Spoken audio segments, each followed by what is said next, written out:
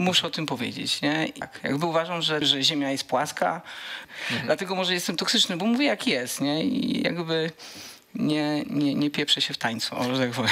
A ty jesteś dumny chyba z tego miana. Ja Jestem, no, wyglądasz. tak się zastanawiam, czy jestem kontrowersyjny. No, jeśli mówienie prawdy jest kontrowersyjne, to tak, to jestem kontrowersyjny. Nie? Mhm. To, to wkurzam tym, że mówię jak jest i nie owijam bawełnę. To mogę się z tym zgodzić. E, Jakby wracając y, do, do, do tego meritum, y, jeśli uważasz i jakby logicznie mówisz o tym, że Ziemia jest płaska, To jest strasznie niewygodne, że ludzie ci w kółko zadają to pytanie. Ta- Ale taki jestem, to jest moje życie. Dlatego jestem kontrowersyjny, bo to mówię publicznie. Czy po prostu nie umiesz trzymać e, języka za zębami?